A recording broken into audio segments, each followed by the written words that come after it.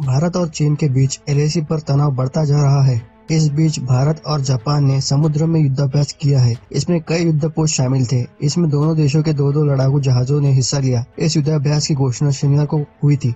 हालाँकि भारत और जापान के बीच नौसेना का ये रूटीन अभ्यास था।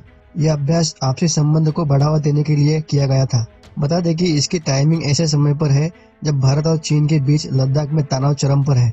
नेशनल मेरीटाइम फाउंडेशन के महानिदेशक वाइस एडमिरल प्रदीप चौहान ने कहा कि हम रणनीतिक बातचीत के लिए अभ्यास कर रहे हैं। उन्होंने ये भी कहा कि नौसेनाओं ने युद्ध के उद्देश्यों से अभ्यास नहीं किया है। बता दें कि पूर्वी चीन सागर में द्वीपों को लेकर चीन का जापान से भी विवाद है। भारतीय और जापानी नौसेना ने ये हिंद महासागर में चीन के बढ़ते खतरों को निपटने के लिए संयुक्त अभ्यास किया है। वही इस पर नई दिल्ली में स्थित जापानी दूतावास ने कहा कि भारत और जापान के पिछले तीन साल में ये पंद्रहवा युद्धाभ्यास है। दूतावास के प्रवक्ता तोशीहाई इंडो ने कहा कि युद्धाभ्यास में भारत की ओर से आईएनएस राणा और आईएनएस कुलुश जबकि जापानी नौसेना के जे एस करिश्मा और जे एस शिमायुकी युद्धपोत शामिल हुए थे। मालूम हो कि जापान उन देशों में से एक था जिसने डोकलाम विवाद के दौरान सार्वजनिक रूप से भारत का समर्थन किया था। वही जापान ने केवल गलवान घाटी में भारतीय सैनिकों के शहीद होने पर संवेदना व्यक्त की है। हालाँकि जापान ने चीन पर कोई टिप्पणी नहीं की है। जापानी नौसेना ने हाल ही में कुछ वर्षों में खुद को काफ़ी विस्तारित और मज़बूत किया है। जापान के पास मौजूदा समय में दुनिया के सर्वश्रेष्ठ गैर परमाणु पनडुब्बी है। यह अत्याधुनिक टेक्नोलॉजी से लेस है।